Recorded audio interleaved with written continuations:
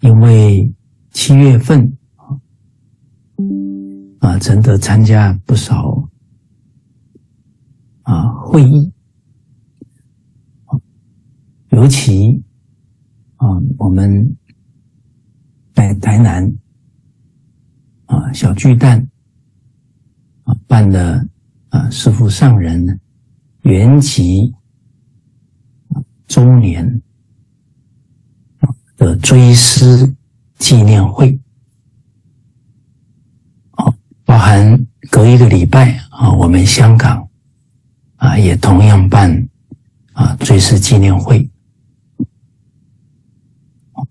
那办这个纪念会啊，最重要的意义啊，让我们不忘啊师父上人的教诲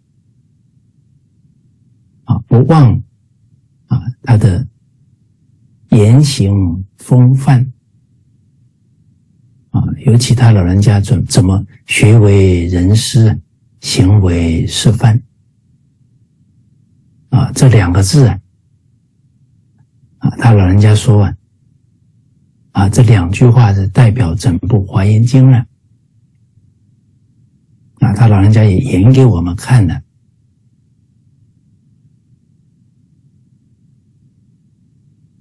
啊我们读。四书五经，啊，读大乘经典呢，啊，觉得比较抽象的部分，哎，能思维他老人家是怎么做的，啊，往往这些句子啊，就变得很具体了，啊，温良恭俭让，啊，我们想到老和尚的啊。一举一动，啊，好像就能体会到不少了。啊，像《无量寿经》，心大悲，明有情，眼慈变，受法眼，度恶趣，开善门，接受老人家教诲，而能够啊，转恶为善，转迷为悟。啊的大众啊，啊，那遍及五大洲啊，哦，所以这些大乘的京剧啊，啊，一想到他老人家的行仪啊，啊，好像就很活灵活现了，啊，所以这是我们的福报啊，能跟他老人家学习呀，那。他的表演呢，我们要企鹅效法。哦，哎，就像我们上一节课啊提到啊，老人家非常珍惜时间啊，老易至，惜此时啊。啊，这个是圣妙法师回忆到。啊，老人家有一次远行呢，啊，整个过程啊要一二十个小时，啊，但老人家都没有浪费时间呢，啊，都在听呢，啊，黄念祖老居士讲的静修解要报恩谈。哎，老人家这个珍惜时光的表演呢，为谁表演的？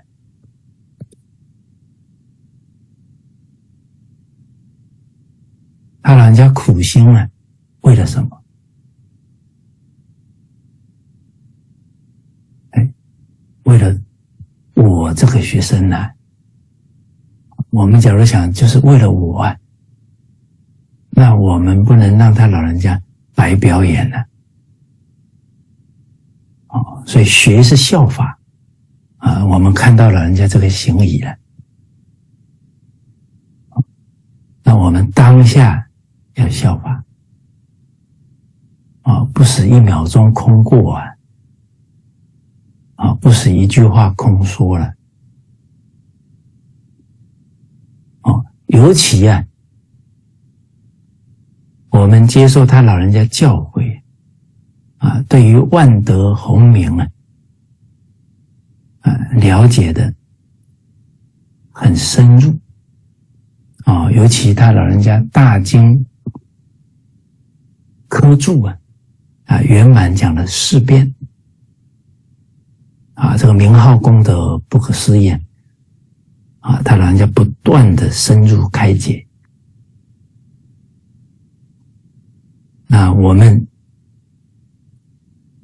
啊，理解到啊啊，这句万德洪名呢，是设佛的功德啊，果地的功德为自己的功德，从果起修啊，即修即果。哦，那了解到这个功德受用啊，那就要记住他老人家说的。要分秒必争呢，啊，这一句分秒必争呢，老人家也是提了好多遍了。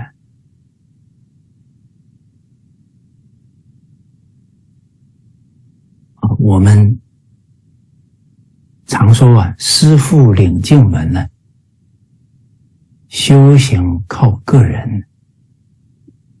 啊，我们得用心去体会。啊，老和尚所教，啊，我们体会到哇，这个万德洪名能灭重罪啊！啊，那假如我不老实念这一句佛，还打妄想，还造口业，那这不是天差地别吗？那我可不能看这个。无土释然！啊，我们圣教教的首先是自爱啊，才能去爱人呢。哦，这一念之间差别那么大，啊，这一秒钟差别那么大，啊，一句可以灭重罪，可以消八十亿劫生死重罪。结果我把这一念变成造三恶道的业啊，那我不是冤大头了啊？那这个都要靠自己去感受啊，感受的越深刻啊，不愿意这么做了。哦哦，那当然，我们看老人家这么利用时间呢。就不能呢，以我们很忙啊为借口了。啊，记得有一次，啊，黄念祖老居士，啊，他要讲一个专题呀，啊，有关这个《阿弥陀经》啊，信愿持名的专题。啊，他提到了，啊，他每一天呢。要上课。啊，要啊，给《无量寿经》啊写注解。哦，因为他是密宗上师啊，他要修法。啊，他还要超度啊。啊这些有缘众生呢，他每天有这么多事情要做啊，但他老人家说了啊，我是生死的凡夫啊。能不注重修行了，啊，所以一天呢，最少要三万声佛号。哦，我当时听了真的是很震撼呐，啊，他的任务工作这么重了，他每一天还不少于三万声。哦，不知道大家有没有看过啊？有个美国的同修到北京啊，去向他老人家请法啊，发问问题。哦，我那个视频非常精彩啊！好，呃，假如知道的同修啊，可以发上去啊。好，黄老在回答的过程呢，他手上的佛珠。没有停过。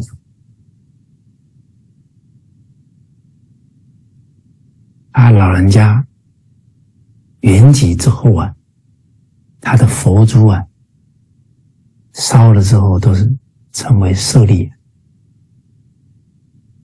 可见他用佛念佛的用功啊。哦，那黄念老啊，表演给谁看的？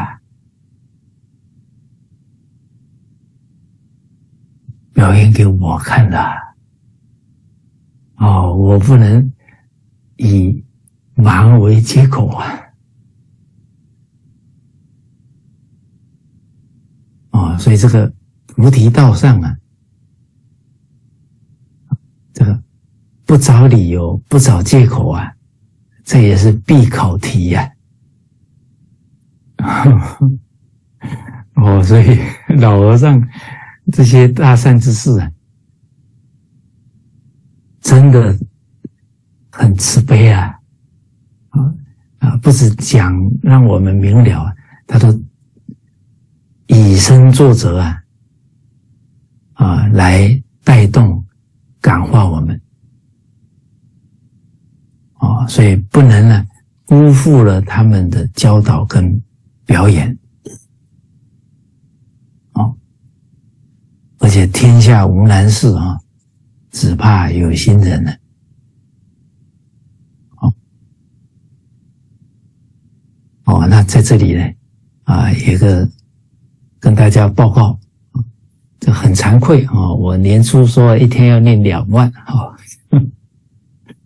哦啊，目前的战况啊，啊啊，有点惨烈啊，哦，不过呢，每一天呢，基本上没有少过一万。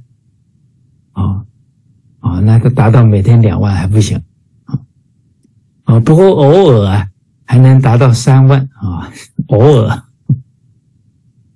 嗯，但是要跟再接再厉了啊！现在已经立秋了啊啊！今年过了一半，啊，这个还有后半年啊！我好好努力啊啊！以这个黄念老啊。为榜样，好哦。而我们啊，追思啊，老和尚啊，老和尚的教诲当中呢，啊，有提到啊，我们要心同阿弥陀佛，愿同阿弥陀佛，解同阿弥陀佛，行同阿弥陀佛。啊，诸位仁者，这句话我们熟不熟悉呀？哦，这句应该很熟悉哈。啊，哦，所以我们每一次一起共学啊，在一条龙课程共学，都会看到啊啊，我们这个极乐寺打出来的。誓愿宏深，十方共赞，啊啊，慈悲广大，九界同归啊！你看慈悲广大，我们要心同阿弥陀佛啊！老和尚也表演给我们看的，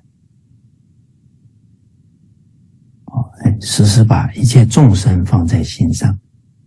哎，要把汉字文言文呢介绍给全世界呀！啊，透过这个载体呀，他们能能把他们好的文化承传下去，不然这些文化又要断了。你看莎士比亚啊，才才三百年左右啊，那后面的人就都不大懂了。哦，那老人家的心量啊，包容一切种族宗教，所以我们跟阿弥陀佛、跟老和尚学，首先从哪里学？哦，扩宽心量。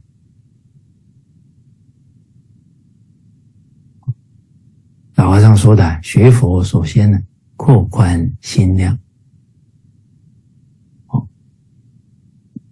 那我们学思并重啊，我们学的这一句，自己要思维啊。哎，我还有没有不能包容的人呢？哦，看到他啊，会不舒服，会不顺眼。哦，那这个当下呀，我们要警觉呀。那我这个心态的不符合老和尚教导了。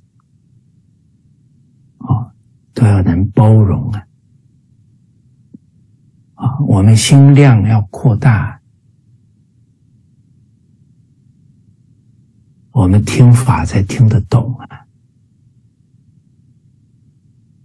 啊，心量太小，那跟老和尚、跟阿弥陀佛心心不相应啊，可能会听偏掉了。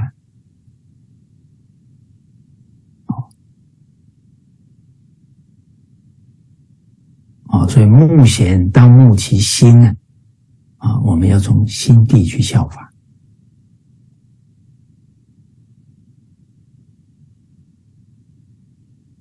好，啊，那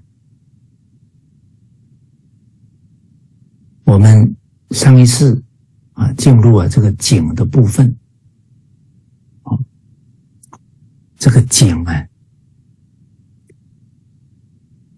就是很好的护念自己呀。哦，无量寿经说贤护等十六正事啊，这个贤护啊，啊要护好别人，首先呢护好自己了。啊，自爱、自重、自敬，自己敬重自己啊。啊，《论语》说君子不重。则不威啊，学则不固啊，啊，所以首先要自重啊，这个自重当中啊，尊重自己的佛性啊，啊，随顺性德，这是自重了，随顺烦恼习气呀，那就是糟蹋自己了。啊，所以谨慎为保家之本，啊，保住了自己的德行，保住了家庭。像这里讲的，连方少勿饮酒啊，饮酒醉最为丑。不懂得谨慎，啊，不要饮酒，哦，那有可能会有生命危险的。甚至还会殃及他人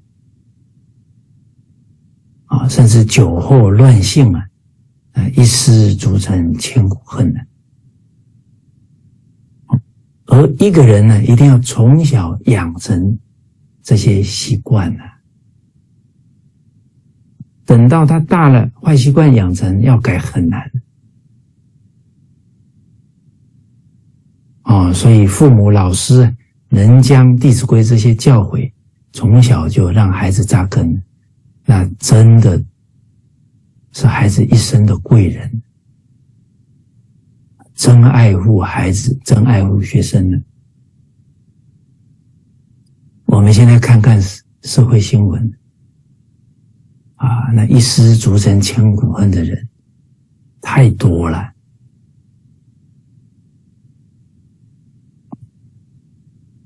不管是政界的、娱乐界的这些公众人物啊，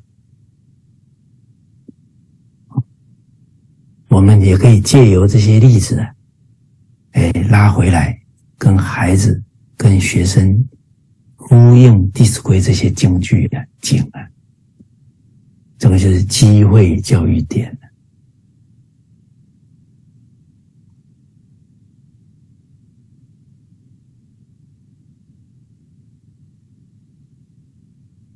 好，我们看下一句讲到了“陈必冠兼漱口，啊，便尿回则净手。”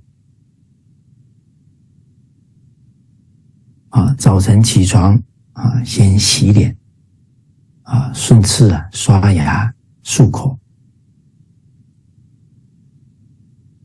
当然这么做啊，啊，首先这个也要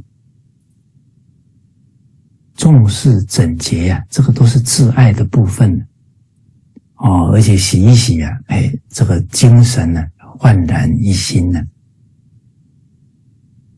哦，哎，也是口气清新呢，自重延伸呢，就是对人的尊重。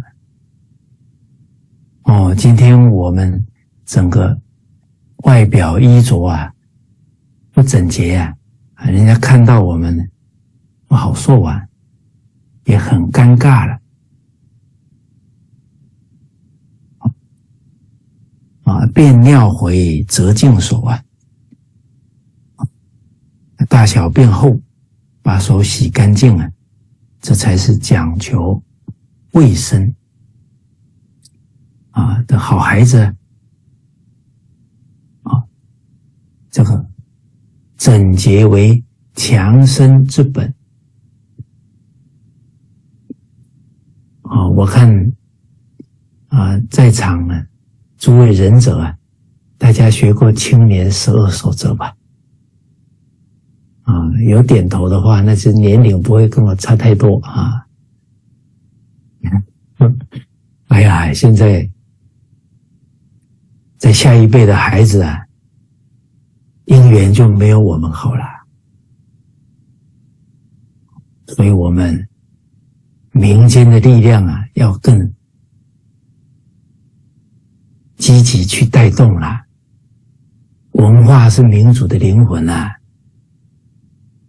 啊，我们台湾的孩孩子们接触文化太少啊。那就变成没有灵魂的人了，心里没有价值观，正确的价值观，正确的人生方向。好，现在外面的功利主义、享乐主义太强了，不扎深这个文化的根基呀，真的不行尸走肉多难啊！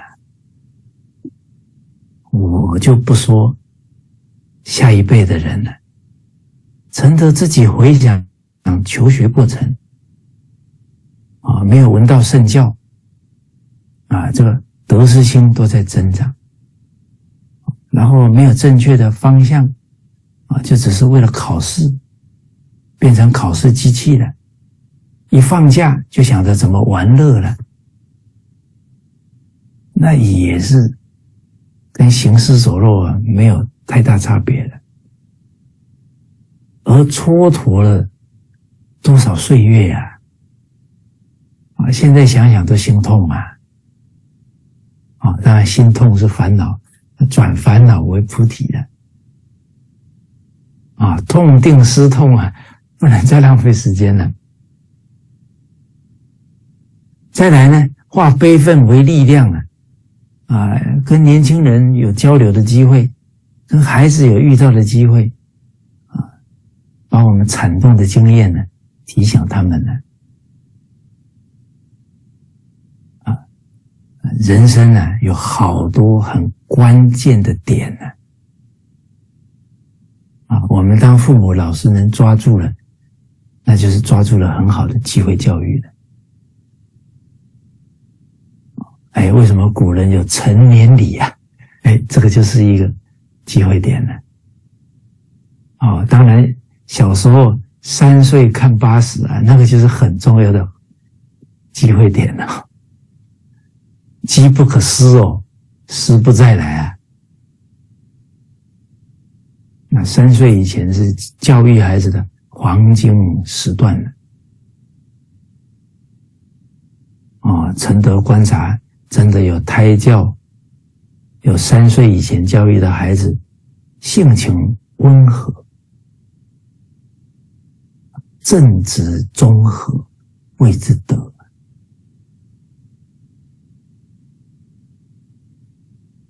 老和尚说的，重视胎教出圣人啊，宋氏三岁以前教育出贤人，啊，三岁以后啊，哦，那能教到君子了，不错了，这都是机会点。啊，就像我们带班，啊，学生刚进教室，胜于死，就是抓住机会点了。啊，一开始就把规矩制定好，哦，那这个班呢，就循规蹈矩了。啊，你一开始没有把班规建立好，啊，啊，都已经很混乱了，要再来建立不容易了。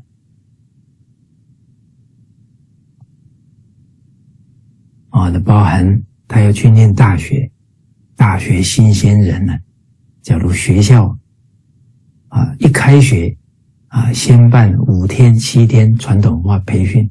假如我当初念大学就遇到这样的培训呢，我那四年我还是有一点点晒根的哦，我那四年不会空过了。嗯。人生总算遇缘不同啊！哦，所以我现在啊，像前几天遇到一位小朋友啊，一位女孩啊，啊，她母亲就有做胎教啊，怀她的时候啊，很认真念地藏经了啊，啊，听其他长辈说啊，啊，这个孩子呢，啊，两三岁啊，哎。到道场来，人家都不觉得他的存在，就这个孩子非常的文静啊。哦，那胎教有有做了安乐益养啊，啊，很容易养养育啊，啊，很安定啊。哦，后来我跟这个女孩见面了。啊，他要到英国去念高中啊，啊，我就跟他约定啊，明年啊到英国汉学院做义工啊，啊，我们要办群书治要课程啊，我介绍一些大哥哥大姐姐啊给你认识，这些都列为重点保护对象啊。哦，他们从胎教就开始了。哦，当然，大家不要一听我这么讲，啊，陈德法是偏心啊，啊，叫分别亦非义啊。嗯，啊，这些孩子的因缘不同啊。哦，那当然，任何孩子愿意来学，我们都尽力教了。啊，不会大小眼的，哎。好，我们当老师的这个，平等爱护，这是当然的哦。啊，不平等呢，人心就不平了。哎，但是说实在的，从胎教的孩子啊，哎，他特别重情义，他会思念你，他会主动找你。啊，他学习也会主动。啊，师长常说了，教学是只闻来学啊，未闻往教啊。他主动来了，他才会珍惜。他不主动啊，你去跟他讲太多了，他一生烦了，反而这个缘就就断了。哦好，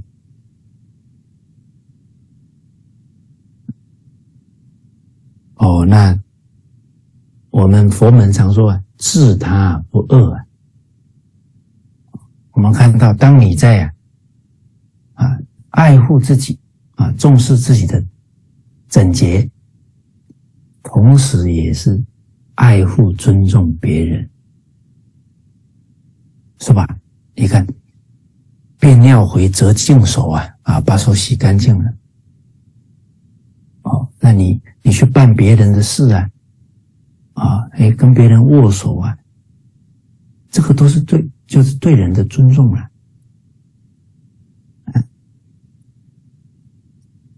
哦，那这个青年十二守则啊，台湾有很多传统文化的教诲整理的非常好啊，我们有受过。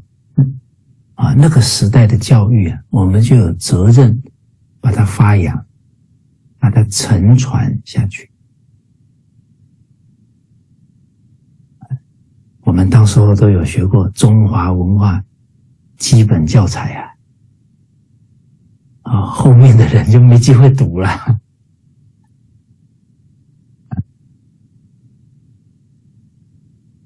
好，看到了。就是我们的责任啊，见义勇为啊，哎，好，那这个啊，陈必冠啊，这个呃，关必正啊，柳必结，袜与履啊，俱紧切。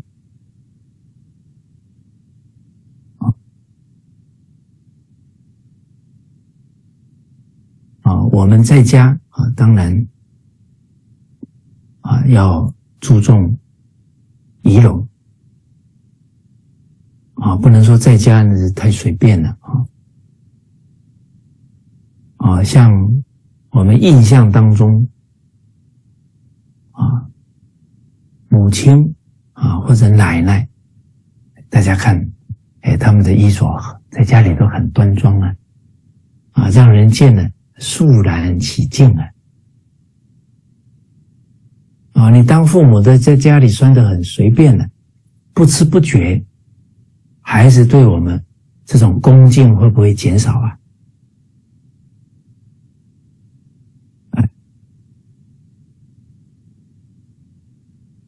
无形当中啊，会减少哦。哦，那一般呢？啊，戴帽子都是出门了，啊，啊要问帽子啊戴端正，啊衣服纽扣啊要要结整齐，啊袜子鞋子穿的贴切，啊鞋带啊要系紧，啊你鞋子穿的不贴切，这走起路来。啊，那个鞋子就啊啊，这个一拐一拐一拐的啊啊，甚至于自己的动作啊啊，都会不是很很平衡啊。那一天看到一一个同学走在我面前呢，我说：“哎，他怎么好像啊啊？”脚出了什么问题呀？啊，好像请一边呢。啊，我上前去问他，他说不是啊，我鞋子太大了啊。哎，好，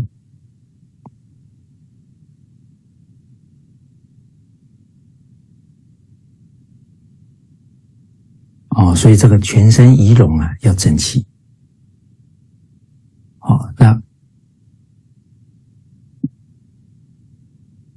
这个我们呢，服装啊要整齐。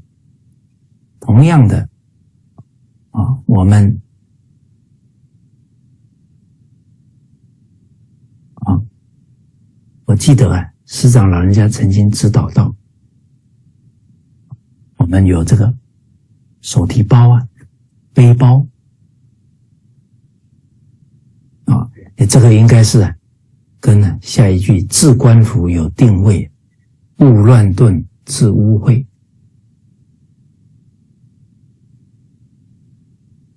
哎，脱下来的帽子、衣服啊，要放置在固定的位置。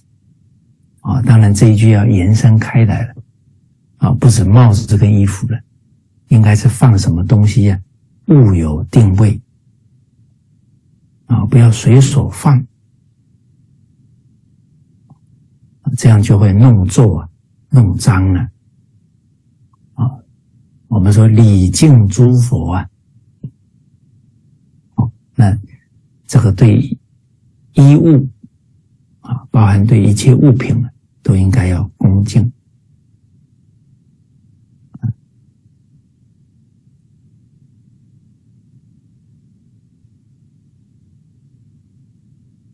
我们跟同修在交流的时候啊，哎，常常都会将交流的内容啊，啊，比方说我们今天谈景，就要把景啊跟往生啊连在一起呀。哦，因为呢，啊，我们同学们只要听到跟往生有关呢，他可能才会比较注意的。哎，那当然，这修学的人啊，也不能出现执着了哈，一定要跟往生才会注意的哦。啊啊，那李炳南老师啊，是特别重视这一点哦，他连穿衣服啊啊，这个。啊，从哪一只啊袖子开始穿，它都有固定了。啊，等于是他一举手一投足啊，他都是有规矩的。啊，有规矩啊，他就不容易乱。哦，哦，所以李导哎重视这些生活的细节呀。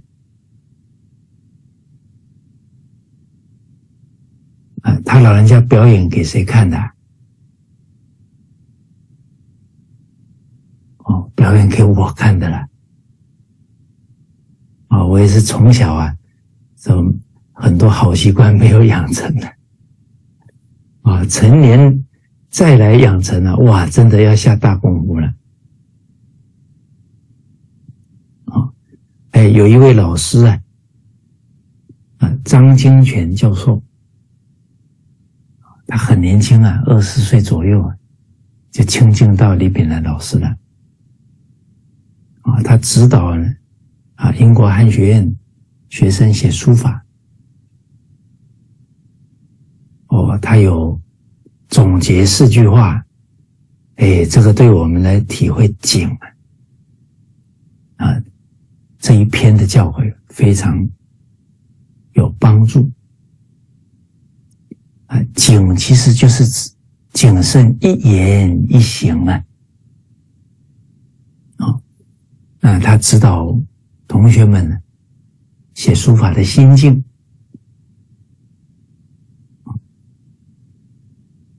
提到了啊，第一点呢，啊，言为心声，字如心画。言语是心声啊。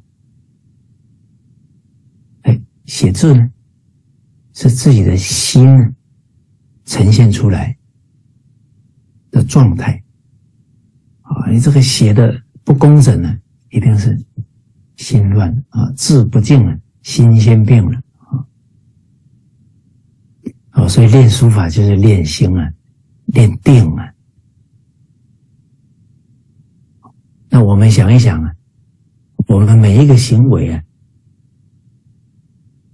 是不是也是心的反射呢？行为心化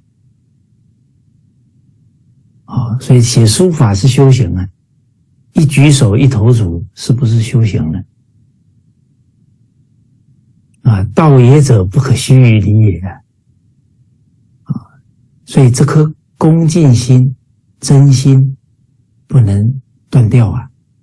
那这个恭敬心不断掉，就表现在。一一举手一投足一言一行中啊，哦，老和尚说的学佛最重要的用真心呢，哦，哎，他讲的第二点啊，了解自心，不与他比。写书法的时候啊，是借由写书法了解自己的心。的状态。哦，不能在写书法的时候啊，再跟别人攀比呀，生烦恼了。哎呀，人家写这么好，我我怎么写成这样啊？呃，越想越着急了，越想越气馁了，就烦恼做主了。啊，心态要正确了。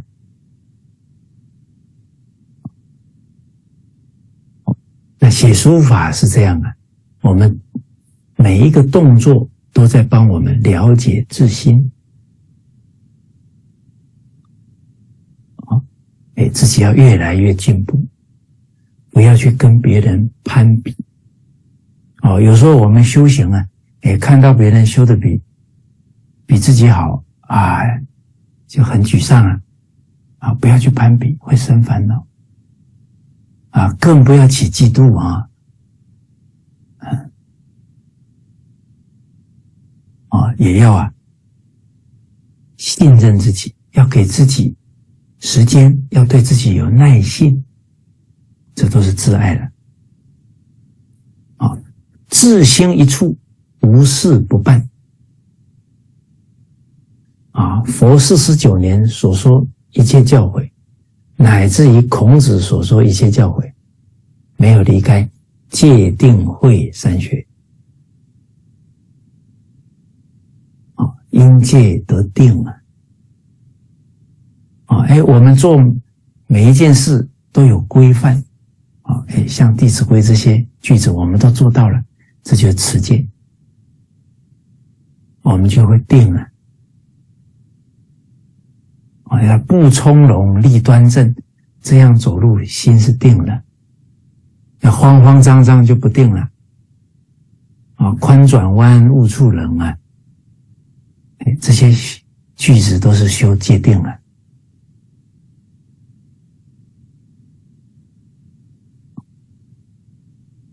所以我们做任何一个动作都是安定，都是专注的，都是在修定哦。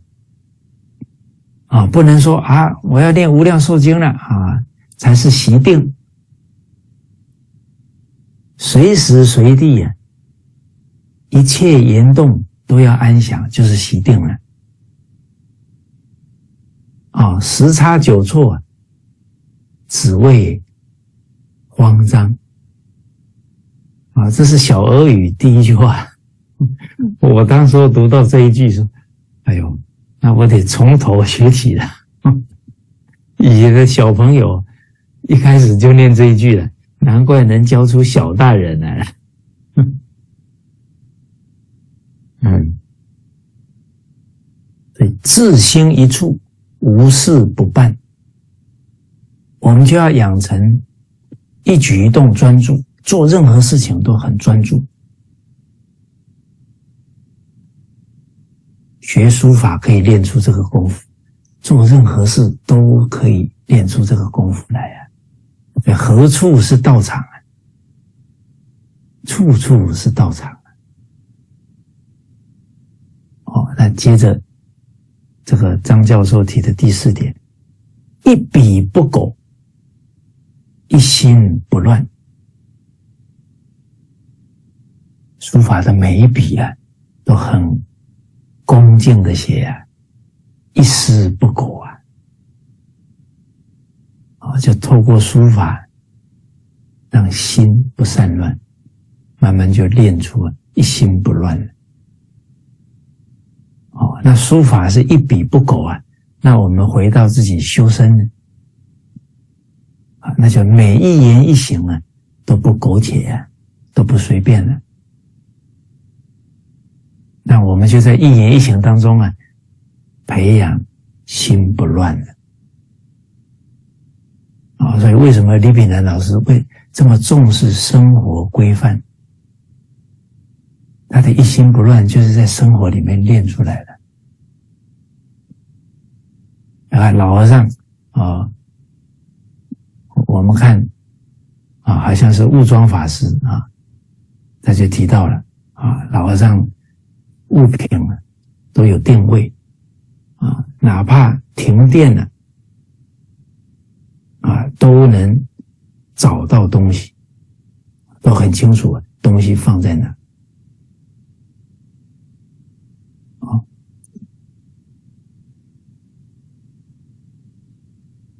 哦，这个好像前面呢跟大家提过，这个欧阳修，他见到啊，有一位老僧啊老的出家人呢，在诵《法华经》。啊端坐不动，哦，这很定啊。那老人家诵完经啊，这个欧阳修先生也很可贵啊，他请法了。啊，他说每见古人呢，临终有啊坐脱力往，就是马上说我要走了。说完了就作画了，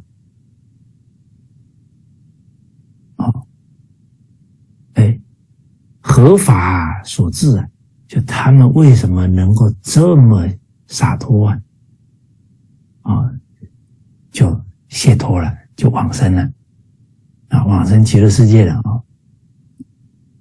哎，结果这个老僧呢就说了，那古人呢？念念在静定，他临终安得乱呢？安得善乱？所以平时如战死啊！他这个临终会这么自在洒脱啊？那是他平常的功夫啊！那今人念念在善乱。临终安得静定啊？那临终就手忙脚乱了。哦，所以师长常常讲经的时候有提到，能不能往生呢？不要问别人了。假如我们平常的生活就觉得很混乱了，那临终会有把握吗？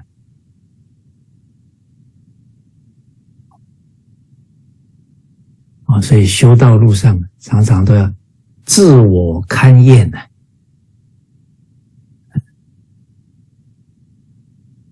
啊，不能做事都是到了临死抱佛脚了，啊，临终可不能是这个样子了，啊，所以从啊李老啊老和尚这些视线呢。我们一定要赶快来效法了，不然呢，这个静定的功夫练不成了，啊，无量劫来稀有难逢的机会就错过了，哦，那就是太冤枉了，啊，所以有一次，啊，师长就叮咛我们了，啊，像我们手提包啊。啊，师长就说了，啊，你们拉上的时候啊，啊，这个拉链最好啊，啊，啊，放在啊比较中央的位置，这样你每一次要打开呀，哎，很方便容易了。啊，假如呢，你是把它拉到旁边去了。到时候你就在那里是在左边还是在右边呢？都还得在那里翻呢。哦，所以你看师长他的生活啊，都讲求这些细节的。哦，哎，后来我们啊听完了，哎，照这么做啊，哎，就会觉得心比较安定了。啊，以前有时候找找那个拉链，找半天。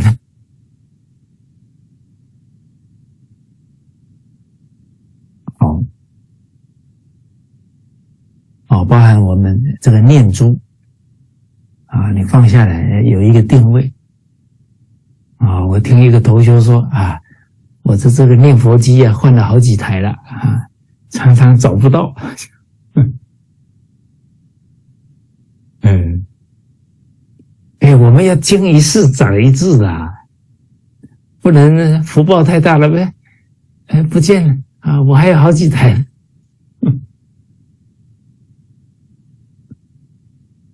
啊，哎，李炳南老师啊，他对佛珠的恭敬啊，他只要哎进厕所了，哎，把佛珠拿出来，放在一个盒子里面，啊，哎，不让这个佛珠啊沾到灰尘了。哦，它都有固定的位置，它就不会找不到了。哦，这些都是我们的学处啊，一分沉静得一分利益啊。哎，都要洗洗手，洗干净，擦干了才拿佛珠啊。哎，这些习惯都让这个恭敬心不断增长。这个习惯没有养成呢，这个恭敬心呢不断下降啊！啊，所以养成好习惯重要啊！啊，学如逆水行舟，不敬啊，他就会往后退了。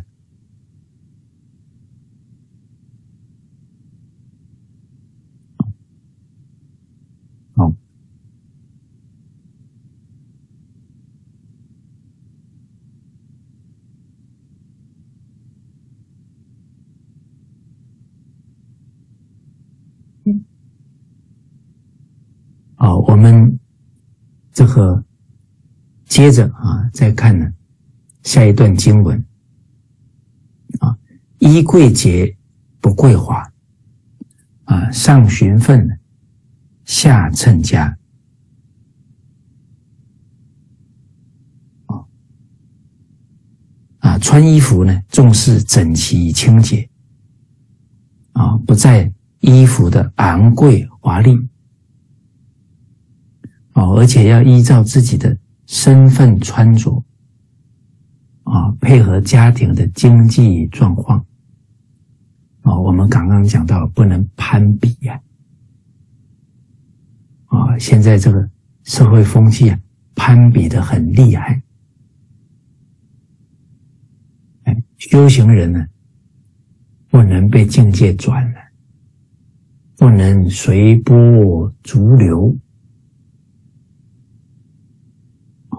说是这么说啊，但是遇到境界的时候啊，心里会不会痒痒的？哦，看到别人哦，都买那些名牌的啊，会不会有有一点啊？这个动心啊？哎，啊，这个时候要想到。啊，子路啊，啊，孔子在《论语》里面说了，啊，子路啊，啊，他穿的衣服啊，啊，可能都有补补丁的，都是比较差的衣服啊，啊，但是跟呢穿着皮衣的人在这站在一起啊，哎，他也不觉得羞耻。没有觉得不如人。啊，他不爱慕这种虚荣啊，啊，他重视德行。啊，甚至于，哎，他自己真的啊有好的衣服了。啊啊，他都愿意啊跟朋友分享。啊，穿坏了。他也不觉得遗憾，然后他很慷慨呀，啊，他重义呀，重道义，亲利，啊啊，这些外在的物质啊，他没有放在心上，啊，所以我们假如有点动心了啊，就要以这些圣贤人为榜样，而且说实在的，自爱的人呢。他懂得要随顺性德，不随顺烦恼习气，因为烦恼习气一起来啊，身心啊不安定了。啊，我们念心经啊，很熟悉啊，观自在菩萨啊，观自己的自性在不在？我们起的这个虚荣心呢，心就不安定了，不自在了。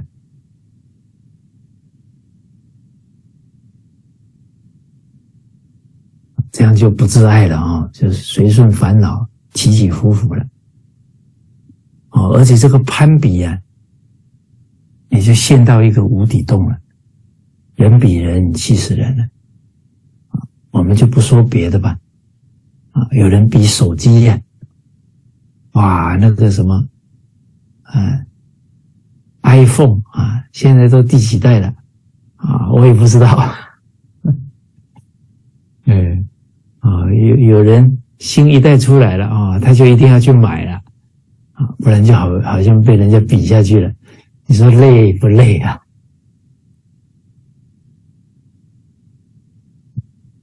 哦，所以不能随波逐流啊！啊，观自在啊，这些外在的东西啊，够用就好了，能用就好了。嗯，不要变成了。啊，欲望的奴隶了啊！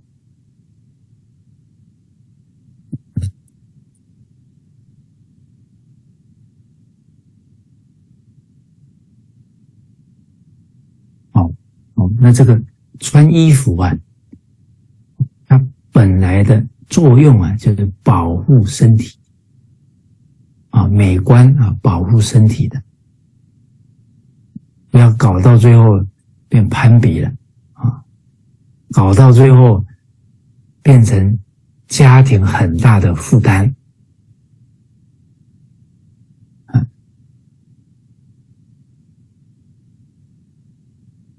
啊，好像这个有一个女有一个词啊，叫“月光女神”啊，每个月都花光光，啊，还得跟父母啊拿钱啊，哦，包含结婚的人呢。哦，你这个攀比了啊，都要去买这些啊时髦的啊昂贵的衣服啊，那就可能成为你先生很大的负担了。不要把自己的快乐啊建立在别人的痛苦上啊！啊，啊，我以前有听同学讲过啊啊，这个带。太太出去逛街啊，太太都说买了买了啊，啊，他在旁边都说买了买了，嗯，啊，这个是闽南话，啊，他先生在旁边不要啊不要啊，好，好，啊，我们就要想到啊，老和尚。啊，效法李炳南老师啊，一天吃一餐。啊，当初是吃了一段时间呢，跟老师报告啊。哎，你看李炳南老师，身体感觉怎么样啊？啊，老和尚没问题，精神很好。啊，李炳南老师桌子一拍，很好，就这样下去，一生不求人。因为他物质享受啊，啊，都很低呀，这样开销就少了，啊，就不用求人了。所以佛陀也交代啊，以戒为师啊，以苦为师。啊，这个以苦为师啊，当然不是说去修无益的苦行了。啊，是我们的生活要求啊，哎，降到最低，就没有负担了。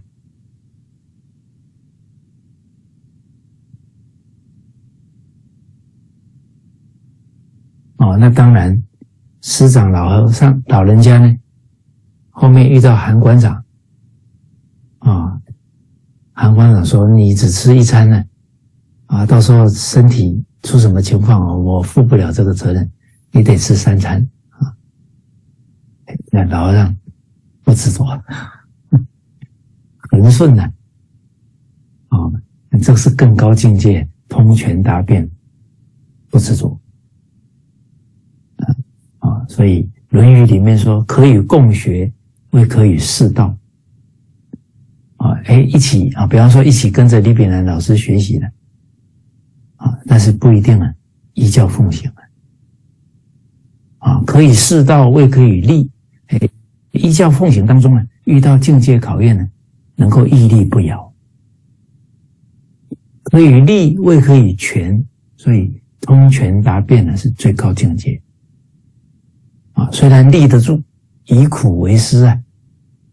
哎但是也懂得权变，不执着啊！遇到这么好的护法，一心为正法啊！虽然脾气不好，虽然有一些要求，很很顺，抓最重要的啊！只要这个护法一心啊护持，让他啊不离开讲台。啊，可以千锤百炼呢。那这些部分呢，都不执着，能够很顺。哎，老和尚表演给谁看的？也是表演给我们弟子们看的。啊，面对境界呀，处理事情啊。不要去要求枝枝末末啊，要抓到那个最重要的重点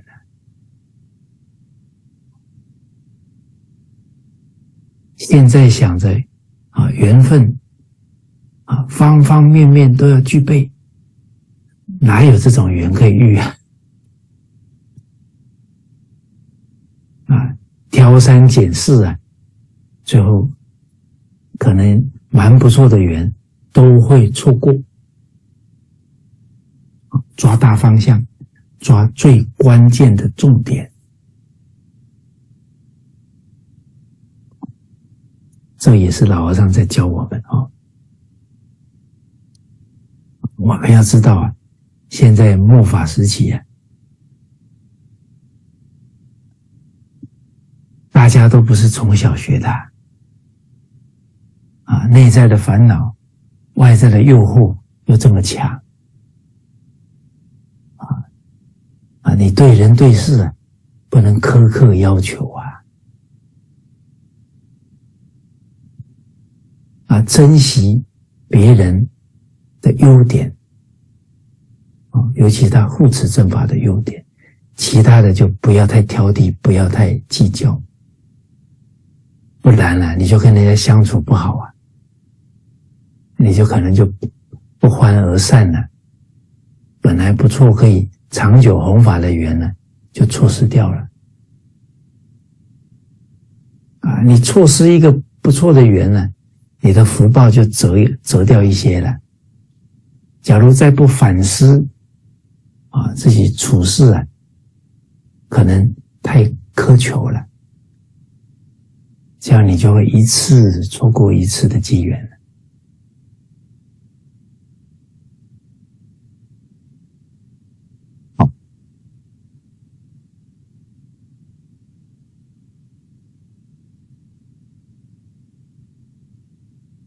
那接下来讲，对饮食勿拣择啊，食适可勿过者。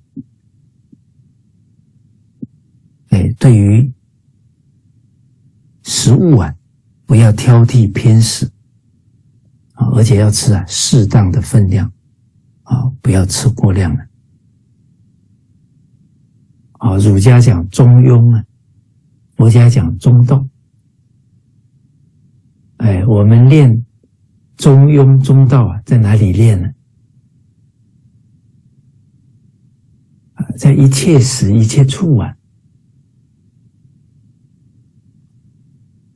不也不要不急。哎，我们有时候这种性格啊，常常走极端啊，比方说我们劝别人劝的过头了啊，人家说：“哎，你这样劝了，可能太过了。”好了，我不劝了。啊，你看这种性格，都是走极端的了。这种性格啊，要听别人劝也很困难。哎，大家有没有听过哪个菩萨挺有性格的？哎，哦，我们学学佛了，要依经典的，不能依自己的想法看法，会误了自己的。哦，那一天遇到一个同仁。啊，他也是在教学的，啊，那他刚好啊这两天啊跟我在一起，啊，啊，那我有课，哎，他也来听，哦，后来隔天他要走了，啊，我就问他了，哎，这两天，啊，听了这些课，哎，你有没有？啊，哪些感受啊？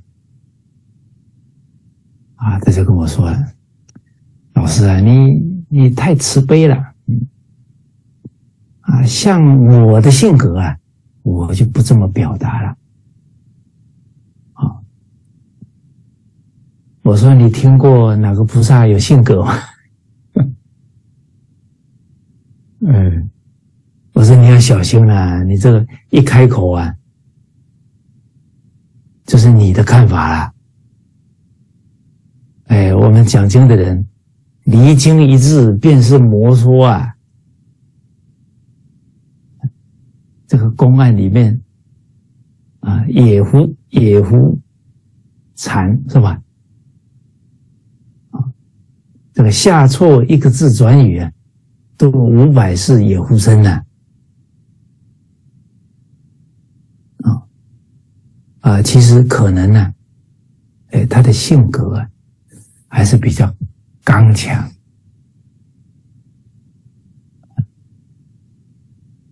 这个都要调伏啊。菩萨是德，柔和直指色身德啊，我们都要一经典呐。啊，我想啊。可能他以前教学，他怕就讲那个人的过啊，有可能跟人家结了怨呢，都有可能的。我们走过来的路啊，都要总结经验的。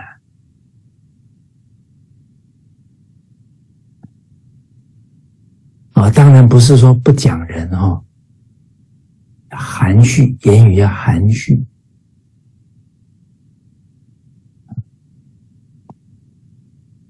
啊，这老和尚啊，有有同修有说了，哎呀，老和尚都不讲人呢。其实啊，这个同学看错了，老和尚哪有不讲人？你真心请教啊，老和尚没有不直接教导的。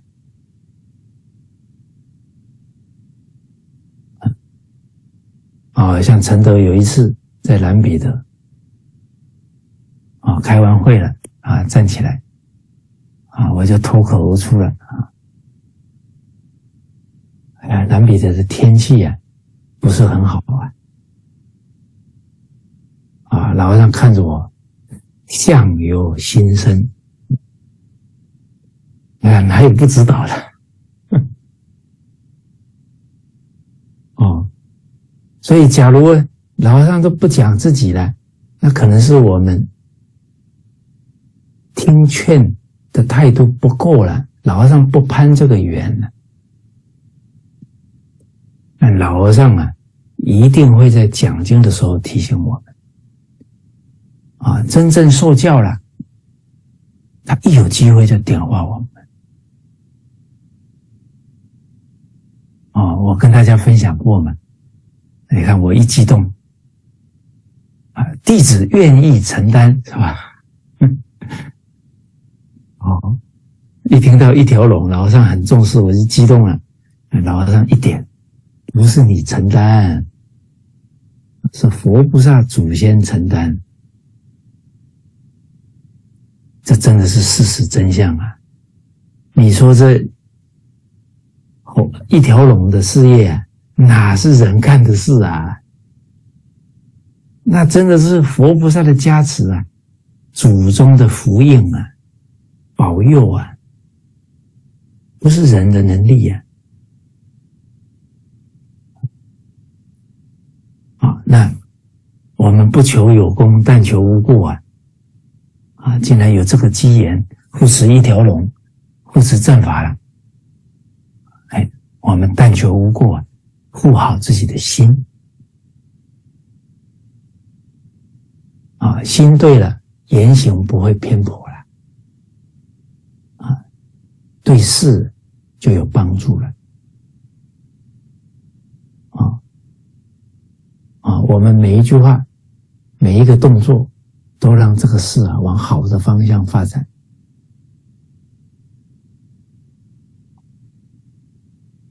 所以啊，我们学这个景字啊是蛮重要、谨慎的。我们处在末法时期啊，弘护正法难度啊挺高的。啊，有一次，刘素云老师啊。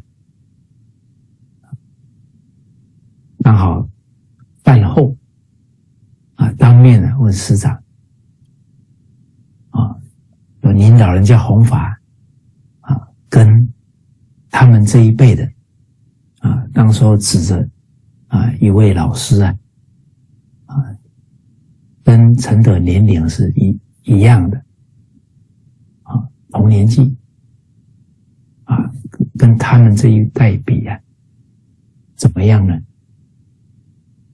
老和尚马上回答：“他们这一代啊，弘法比我难十倍、百倍啊，都不止啊！哦，难度十倍、百倍不止哦。而我们想一想啊，以前的人，一百年前呢，弘法是开悟的人啊，护法呢？”护法是弘法退下来的人呢，这是一百年前的因缘了，是这样啊。一百年以后，内在的烦恼很多，外在的诱惑那又不知道多了多少倍。那弘法又不是开悟的人，悟法。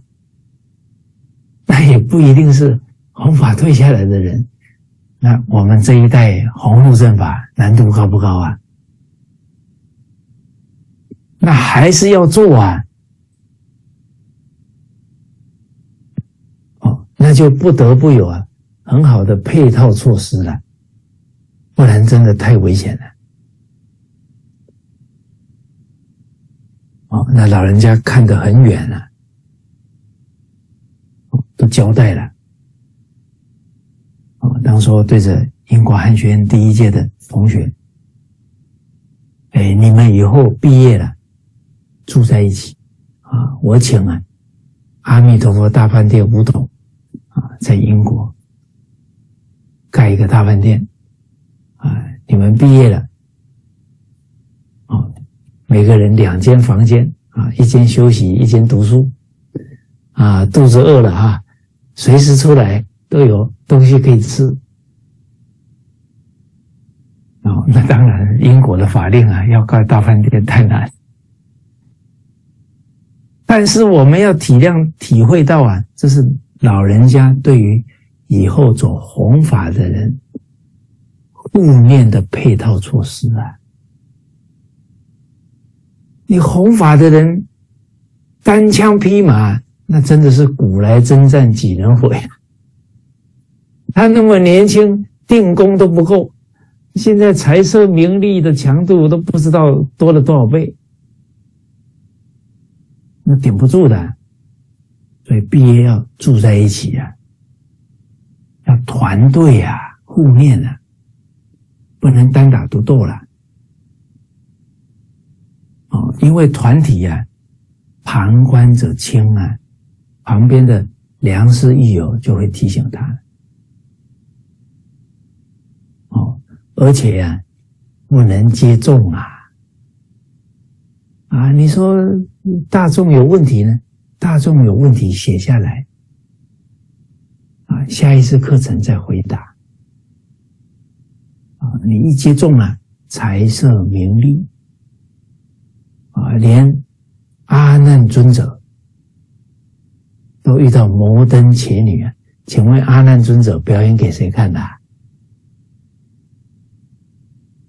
表演给每个后世的佛弟子啊。不能掉以轻心啊！阿难尊者遇到这个缘都顶不住了，我们能顶得住啊？哎，阿难尊者还有另外一个表演呢。啊，老佛陀要涅槃了，他很伤心啊，失货还没断呢，没有证阿罗汉果啊。啊，佛陀原籍为了阿难尊者，为了很多产生依赖他的弟子，因为佛陀一缘起啊，这些人成就了。阿难尊者只是代表啊，啊，佛陀一缘起啊，他的警觉性高了，不然他就想着，哎呀，我有佛陀可以靠啊。啊，人一觉得有靠山呢，他这个勇猛精进啊，就提不起来了。哦，那阿难尊者表演给谁看呢？所以诸位同学啊，老人家圆寂一年了，我们这一年的状况啊，有没有比老老人家注视的时候更精进、更用功？这样才没有辜负老人家的视线哦。老人家圆寂为了谁啊？为了我这个不珍惜的弟子啊！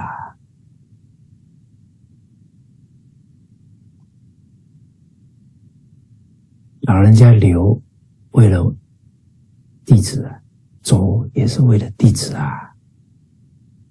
这个我们要用心去体会了。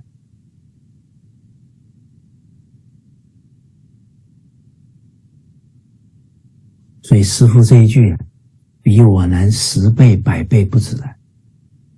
这都在提醒我们呐，不然弘法很容易染浊的，弘法也是险道啊！一不谨慎呢，就染名利啊。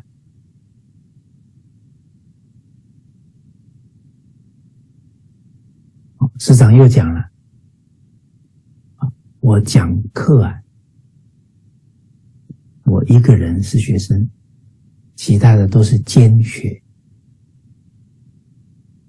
啊，更重要的要劝自己呀，啊，我讲这几十年，别人有没有得力，我不清楚啊，我把我自己啊讲明白了，这一些心境啊。我们没有放在心上啊，我们走弘法的路啊，太危险了。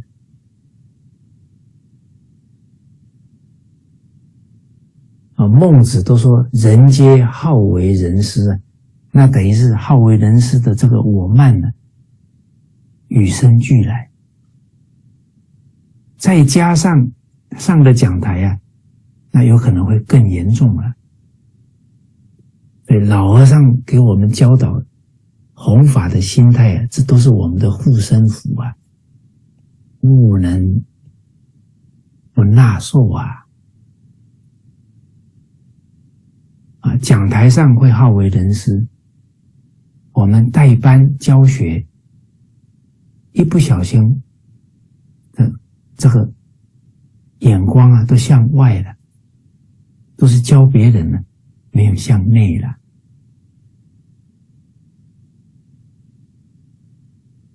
啊，我记得啊，当初遇到一位讲经很受到大众肯定的老师，刚好啊去清净老和尚在马来西亚，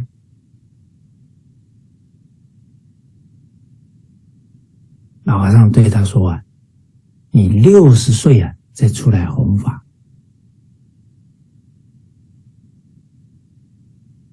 代表老和尚在提醒啊。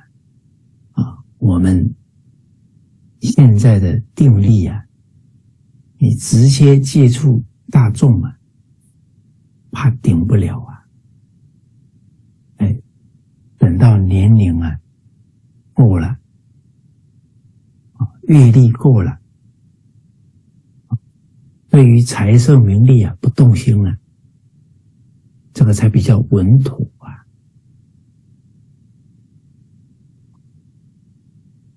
所以有佛法就有办法，我们可以透过啊，啊网络来弘法，但是自己还要啊，把自己的根呢扎得更深呢，啊，还要下界定的功夫啊，不能一下子就出去接众啊，本来要度众生呢，可能就被众生给渡走了，啊，所以当时候在庐江的时候啊。老和尚就知道了，十年不离开汤池，就是独善其身的时候啊，透过这个网络啊，啊或者摄像，可以兼善天下，但是不能呢，马上就出去接种了。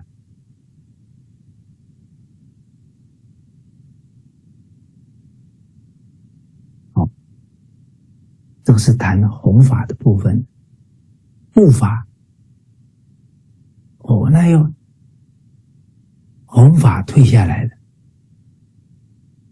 他懂得设身处地呀，为弘法的人着想，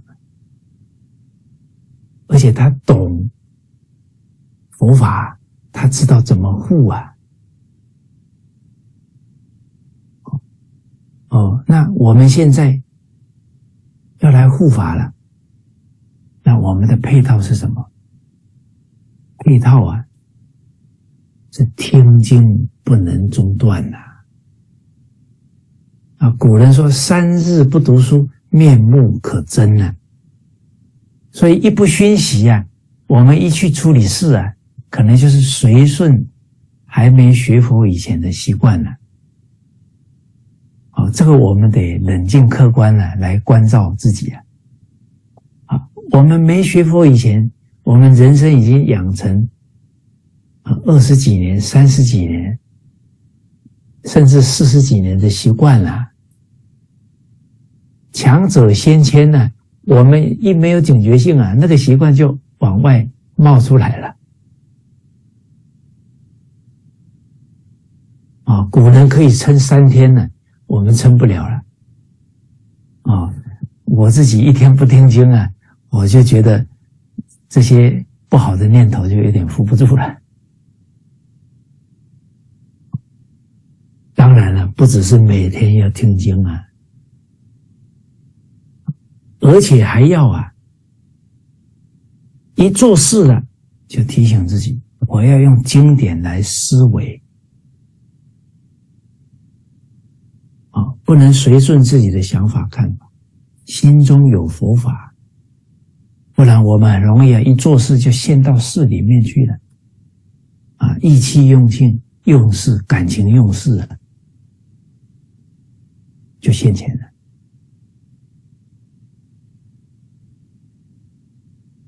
哦，就像夏莲居老居士指导我们处事的事，来办事了。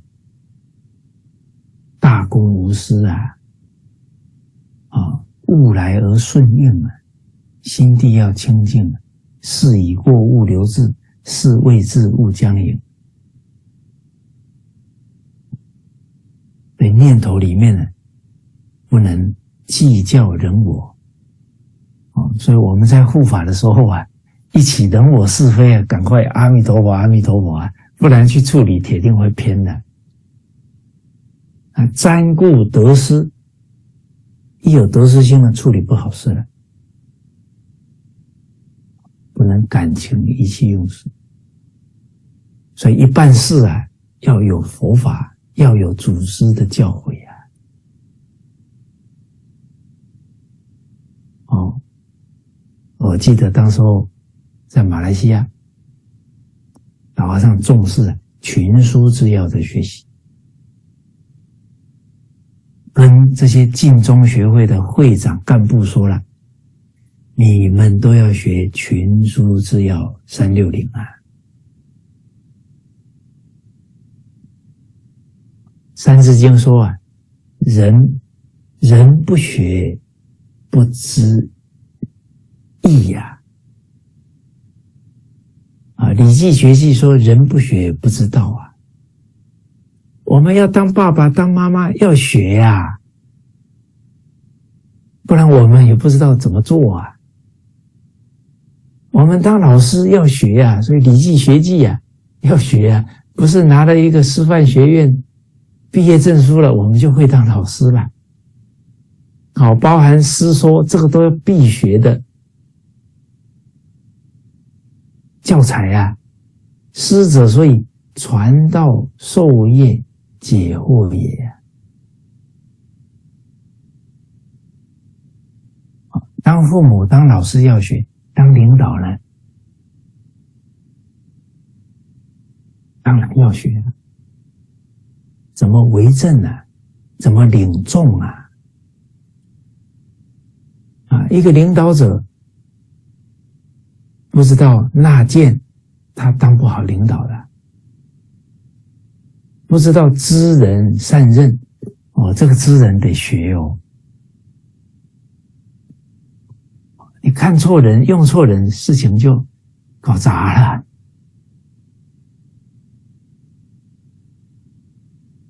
哦，所以群书之要三六零啊，因为毕竟群书之要这么大一套啊，五五十万多的字啊，哎，那我。其中的精华挑出来，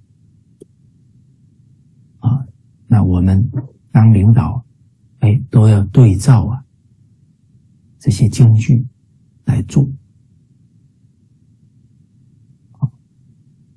不能横顺自己的想法、看法、说法、做法。哦，我曾经跟一个领导。探讨这个问题呀，他说：“问我，你讲的很对呀，啊，结果他回去啊，让底下的人每天都要听经，结果他自己不听啊，啊，所以我觉得我有过失啊，啊，因为我跟他分析完之后啊，我们要补一句啊，你要带头听。”结果他回去之后都是要求别人，没有要求自己了。啊，你看我讲了老半天的话，还害了人家的团体了。哦，所以这个我不杀伯仁了，伯仁因我而死啊！啊，搞得他的团体，哎呀，都只是要求我们自己都不做。啊，所以讲话得要考虑的周详啊，你漏了一句啊。可能这个事情就坏掉了，嗯，因为你你不讲周详啊，人家一听就偏到那里去了，啊，比方说都是先要求别人的人，他一一听好的教诲就偏到去要求别人了，你得把他叮咛的到位才行了，好，啊。当然，我这个分析完了，大家可不要产生恐惧了。哎呀，我看不要弘护正法了，啊，very dangerous。嗯，啊，越难的时候啊，佛菩萨加持越越强。哦，所以难我也敢承担啊，那个加持不可思议的。啊而且我们有这个警觉性啊，就不会偏掉了。好，好，今天呢，跟大家交流到这里啊，谢谢大家，阿弥陀佛。